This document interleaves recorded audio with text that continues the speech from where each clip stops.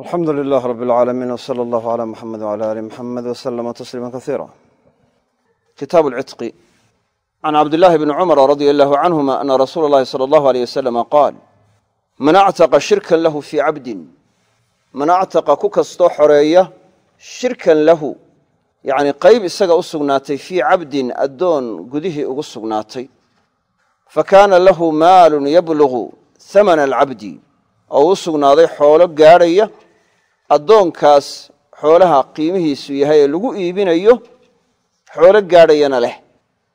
Addoonkan cid bay wada leeyihiin. Yani laba shaksi buu ka dhaxeeya addoonku. Wuxuu idhi qaybtaydii waan xoreeyey addoonkaa aan ku lahaa. Waxaa loo kala qaadayaa inuu maal kale leeyahay ninkan wax xoraynayaa. Ee qayb ka mida addoonka xoreeyey maal kaloo baaqiga uu ku xorayn karo inuu leeyahay yaynaanu lahayn.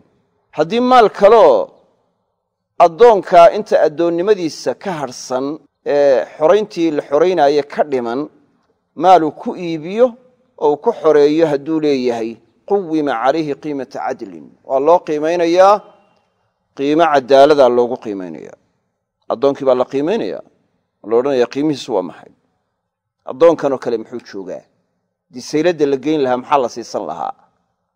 Qiimihiisi baa la qiimaynaya markaasaa intii dhinnayd baa halkaa laga soo saaraya. Masaloo kale haddii la yidhahdo addoonkan qiimihiisu yani wuxuu yahay cala sabiil mithaal yani waxa uu yahay laba kun. Ayaa haddii sayladda la geyn lahaa laga siisanaya la siisan lahaa. Nuskiisii hadduu xoreeyo nuska kale hadhay kun buu noqonayaa. Dee kunkii bixi baa la odhanaya quwima calayhi qiimata cadlin. Oo fa acطaa shurakaa'ahu kuwii lalahaa buu siinayaa xisasahum qaybahoodii ayuu siinaya xisatu shay waa qayb ka mida weeye. Xisaskan hadda la isticmaalana waa erayga markaa maaddadan weeye. Marka xisadu waa qayb. Qaybahoodii ayuu siinayaa addoonka ay ku lahaayeen. Wa cataqa calayhi alcabdu addoonkuna waa xoroobayaa. Wuxuu noqonayaa xor xornimadiisu dhammaystiran tahay. Wa ilaa haddii aanu markaysagaa maal baaqiga uu ku xoreeyo aanu lahayn ninkan wax xoraynayaa.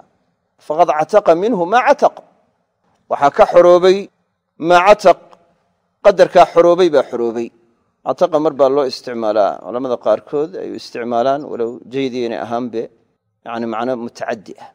Laakiin sida marka waxa weye fasiixi waxay tahay in cataqa laazim ay tahay waa xoroobay ee actaqa la odhanaayo xoraynta waa xoreeyey. Actaqa ay noqonayso. Actaqana waa xoroobay wey xadiiska bukhaari iyo muslim ayaa soo wariyey cidqigu wuxuu ku saabsan yahay cid addoon ahayd in la xoreeyuu ku saabsan yahay. Waxaa jira yacni riqi ama cubuudiya iyo xoriya iyo xoriya xornimo iyo addoonnimo. Shareecada waa ku sugan tahay in dadku markaa addoommo ay noqon karaan. Shay qadiimoo jiro oo dee bashariyadu ay samayn jireen baynay ahayd. Shay markaa bini aadamku ay samayn jireen oo dadka qaarkood la addoonsan jiray ayay ahayd. Laakiin shareecadu arrinkaa waa la cidhidhiyey asal ahaan waa arrin mashruuca oo jira. Oo kitaabka qur'aanka iyo sunnada nebiga sala allahu aleyh wasalam iyo ijmaaca culammada mid walba inay dadku addoommo noqon karaan qaarkood yani waxa weye waa ku suganta. Ilbaxnimooyinka bini aadamku soo mareenna qolo walba waa jiri jirtay inay wax addoonsan jireen. Wakhtigii markaa waxa weeye nebiga sala allahu aley wasalam la soo dirayna aad bay u badnaan jirtay addoonnimada lays addoonsadaa marka baabkii addoonnimada waa la cidhiidhiyey. Dariiq keliya loo yeelay. Dariiqaasina waa maxay? Waa jihaadka. Dariiqa keliya furani waa jihaadka. Abwaabta lagaga baxana waa la badiyey. Ilaa kafaaraadkii dembiyada laga kafaaro gudaya laga dhigay in addoon la xoreeyo.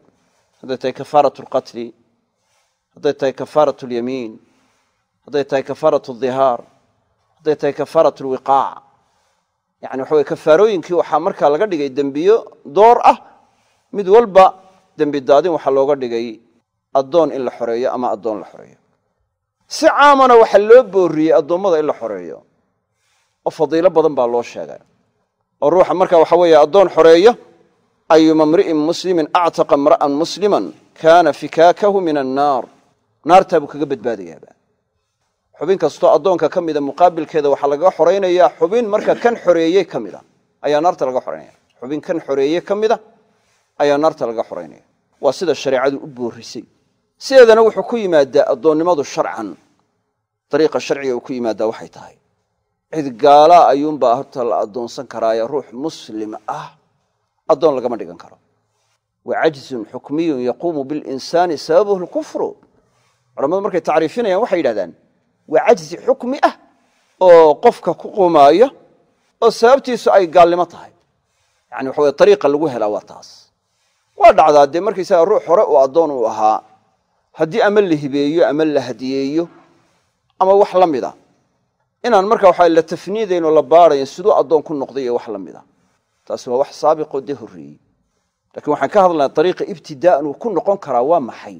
Waa ariiqa jihaadka keliya iyaduna laazim maaha ilaaba ilaa qofkii in addoon laga dhigto. Waa arrin maslaxada ku xidhan. Fa ima manan bacdu wa fidaaa.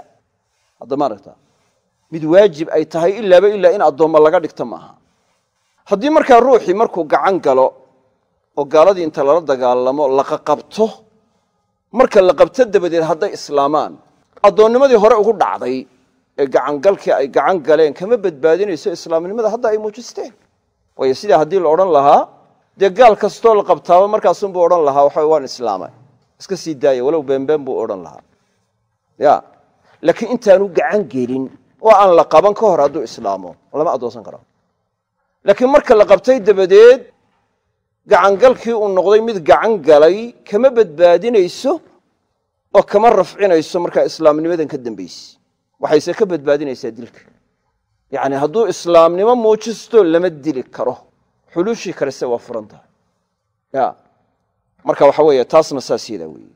Gaaladu waxay doonaan iyo kuwa gaalada raacee gaala raacyada ahi. Inay islaamka ku dhaleeceeyaan oo yidhaahdaan addoonnimuu qabaa. Masaladaasi waa masale casrigan aad loo buunbuuniyo. Dadka qaarkoodna oo gaalada u rixiyaana arrinka noocaasa markaysa markaa aad iyo aad bay ugu celceliyaan. War sidee bini aadam markaysaa loo addoonsado markaysa markaa waxaa loo banneeyaa sidee milkulyamiin markaysa markaa loo banneeyaa gabadh markaysa marka waxaa la qabsaday oo muslimiinta ay qabsadeen oo dagaalkii ku soo qabteen. Sidee markaa loo yidhaahdaa waxa weeye iyagoo rag lahaa inta waxa weeye markaa loo sameeyo istibraa ayaa milkulyamiin loogu tegayaa? Ikhtisaabkii aad bannaynaysaan miyaynay ahayn. Waxaa la odhanayaa waxyaalaha noocaasa la dhegaysan maayo. Cidda sharciga dejinaysa wax xalaalaysa waxna xaaraantinimaysa waa allah. Ya arrinka ku saabsan waxa weeye milkulyamiinkuna wuxuu la mid yahay guurkuu la mid yahay. Sida marka waxa weeye guurku xalaal u yahay shareecada islaamka wa fi sharaa'ici kulliha ayaa milkulyamiinna markaa xalaal u yahay. Wuxuu xalaal ku yahay in ilaahay xalaaleeyey daraaddeed. Ma shubahaad gaaladu soo arooriyeen. Iyo qaarkood markaysa marka waxaan yani qaar gaalada raacaya ay markaysa waxa keeneen ayaa markaa sharciga ilahay lagu ictiraadaya yani waxa weeye ta noocaasi markaa mid munaasiba marka waxa ma aha dadka muslimiinta qaarkood inhizaamka ku dhacay iyo niyadjabka ku dhacay waxay keensatay. Arrinka noocan oo kale a inay markiisa marka waxaan yani ay markaa doonaan inay yidhahdaan shareecadu saa ma qabto. Ilaa qaarkood ay yidhaahdeen dee jiri jirtay ahayd waagaa jirtay. Dabeedna waxaa loo yidhi markaas sidan yeela waa mucaamala bilmili gaaladii inay samaynayaan daraaddeed baa la yidhi. Markaysa waa sidan markaa waxba sameeya. Ee haddii waxa weeye markaa gaaladii marka aynay samaynayan lama samayn karo hadda wax hadda jira maaha taasi waa inhizaam nafsi shareecadana maxal kuma leh shareecada maxal kuma leh in waxa weeye riqigu inaanu waajib ahayn waa jirtaa laakiin haddii waxa weeye markaa dadkii gaalada laga soo qabtay haddii addoomma laga dhigo waa arrin sharciya weeyo shareecada ku sugan mid la odhanayo markaa casrigan hadda waa xaaraanoo ma banaanana ma aha ama waxa weye nidaam caalamiya la saaray ee waxa weye nidaamka caalamiga in la raaco yani waxa weeye ayaa waajib ah. Yani ta noocaasi saas noqon mayso. Calaa kulli xaal taasi waa masale ku saabsan masalada riqiga waana mawduuc marka waxa war badan. Xadiidkani wuxuu ku saabsan yahay. Qof addoonaba cidi wada leedahay saddex qof baa wada leh ama laba qof baa wada leh qaybtuu markaa ku ayaa mid xoreeyey qaybtuu ku ayuu mid xoreeyey wuxuu samaynayaa hadduu xoolo kale leeyahay oo inta kale baaqiga ku xoreeyo waxay noqonaysaa inuu intaana raaciyo xoreeyo. Ayay noqonaysa. Laazim bayna taasi ku tahay. Waa siraaya siraaya fi lcitqi si aan ilahay cidi wax ula wadaagin. Intan ilahay dartii u xoreeyey soo maaha macnuhu iyana noqon intaasina ilaahu aday ku sugnaatay intaasina hebel bay u sugnaatay. Ee waa inuu israaciyaa. Mar hadduu kari karo waa siraaya fi lcidqiye qaybta kalena inuu xoreeyaa laazim ku noqonaysa hadduu awoodayo oo musir yahay. Haddaanu kari karin qadarka uu xoreeyunbaa xor noqday wax kaloo isaga saaranna ma jiro. Xadiiskan intuu sheegay waa intaas. Siraayada cudqiga gelaysa yacni siraayada cidqigaa gelaysa oo bimacnaa la odhanaayo haddii wax ka mida la xoreeyey waa in la dhammaystiraa xoraynta waxaa iyada lafteedu tilmaamaysaa sida waxa weeye sharcigu u boorinaayo addoommada in la xoreeyo. Xataa zekada markaysa markaa ayaa lagu daray waxyaala lagu bixinayo yacni dunuubtii baa kafaaraad looga dhigay. Si caamaa loo booriyey meelaha zekada lagu bixinayo ayaa lagu daray oo fi riqaab. Maarata marka waxa weeye mid yacni addoonsiga yani waxa weeyaan marka la ballaadhiyey ma aha. Waa mid la cidhiidhiyey. Abwaabta markaa laga baxayana la badiyey. Noocaas can abi hurayrata radia allahu canhu can nabiy sala allahu alay wasalama qaal man actaqa shiqsan lahu min mamluuk nebigu wuxu uhi sala allahu alay wasalam man actaqa ku kastoo xoreeya shiqsan lahu qayb isaga u sugnaatay. Shiqsigu waa qayb isaga u sugnaatay. Min mamluukin shiqsigaasoo min mamluukin.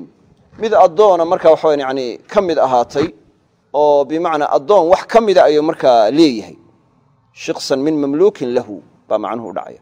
Fa calayhi khalaasuhu fii maalih waxaa saaran inuu waxa weeye yani addoonnimada ka furfuro oo ka bixiyo oo maalkiisa markaa uu yani ka bixiyo xaaluu khalaaskaasi fii maalihi maalkiisa ku sugan yahay inuu markaa waxa isagu furfuro ayaa saaran oo si dhammaystiran addoonnimada uga bixiyo. Fain lam yakun lahu maalun haddaanu maal u sugnayn ama maal gooya aanu u sugnayn quwima almamluuku waxaa la qiimaynayaa addoonka qiimata cadlin qiimo cadaalad ah oo u dhigmo ayaa lagu qiimaynaya uma istusciya alcabdu intaa dabadeed addoonkiibaa markaa waxaw kasab laga dalbayaa inuu soo shaqeeyo. Ila qadar baa xore. Hayra mashquuqin calayhi xaal la dhibayn. Wax dhibaato aan loo geysanayno waxaanu awoodi karin aan dhalada laga saarayn. Isagaa la odhanaya soo shaqeeyo qadarka addoonnimadaada ka dhiman. Xoolaha ah soo shaqee. Markaad soo shaqaysana xoolaha bixi dabeedna sidaa ku xorow xadiidkani inta hore wuxuu waafaqsan yahay xadiiskii horeynu soo aragnay. Waxaa laga tilmaamayaa hadduu qayb ka mida addoonka xoreeyo inta kale inuu xoreeyaana inay laazim ku noqonayso waajib ku noqonayso hadduu kari karayo oo maal leeyahay. Haddii haddaba aanu awoodi karayn. Addoonkiibaa waxaa la odhanaya adigu soo shaqeeyo kasab soo samey istiscaagu wuxuu yahay waa talabu sacyi waalkasab sacyi iyo kasab inuu dalbo weeye. Soo shaqey baa la odhanayaa marka xoolahaas aad ku xoroobi lahayd ee qadarka xorayntaada ka dhiman waa in adigu bixisaa. Mar haddii ninkii ku xoreeyey qayb ka mida ku xoreeyey aanu awoodi karin isagu inuu wada bixiyo oo inta kalena raaciyo aanu awoodi karin.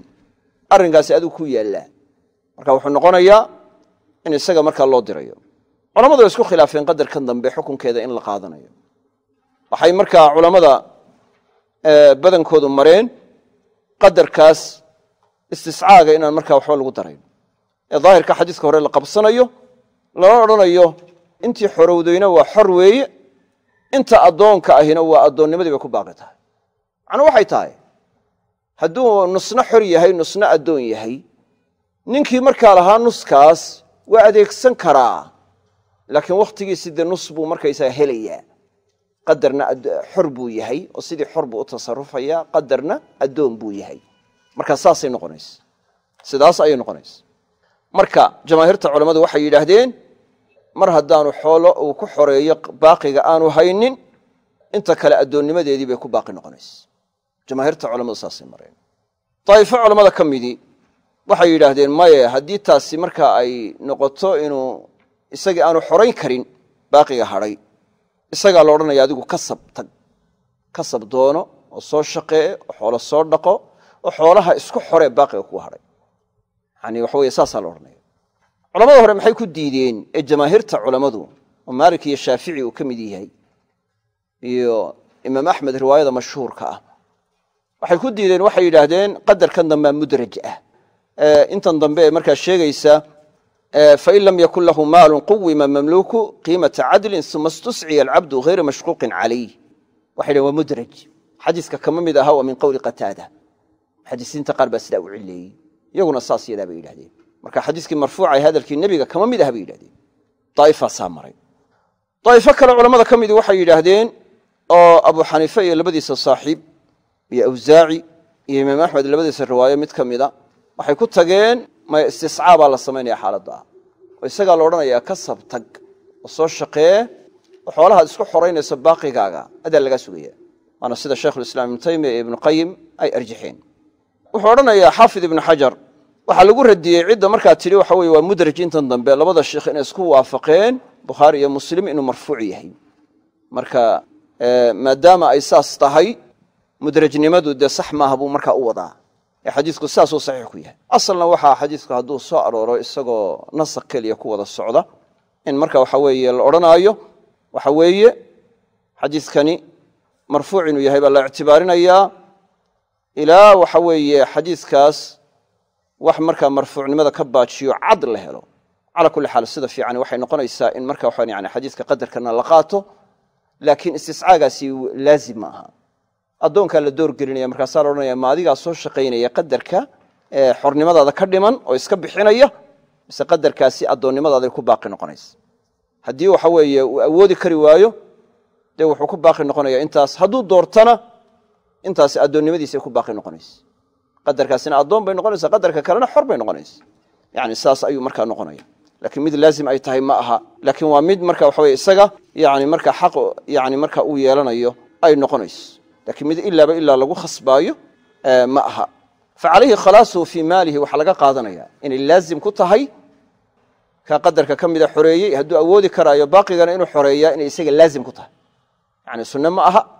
Waxay noqonaysaa mid laazimay noqonaysa an jaabir بن cabdilaahi radia allahu canhuma qaala dabbara rajulu min alansaari hulaaman lahu yani nin baa wuxuu xoreeyey markuu dhinto dabadeed waxa xora buu yidhi nin ansaarta ka mida hulaaman lahu wiil isaga u sugnaaday oo wuxuu yidhi yani idaa midtu fahuwa xurun haddaan dhinto waa xor ama huwa xurun yani bacda mowtii xor weeye geeridayda dabadeed dubur maxaa loo yidhi waxaa loo yidhi waxa weeye waa geeridiisii dabadeed. Dabbara mudabbar buu ka dhigay.